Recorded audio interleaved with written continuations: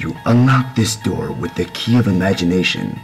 Beyond it is another dimension, a dimension of sound, a dimension of sight, a dimension of mind. You are moving into a land of both shadow and substance, of things and ideas. You've just crossed over into the Twilight Zone. We find our hero sobbing at a desk. His task is to build a Mishkan, however, he just does not have enough time. Little did little Ralphie know, his predicament has launched him right into the center of the Twilight Zone.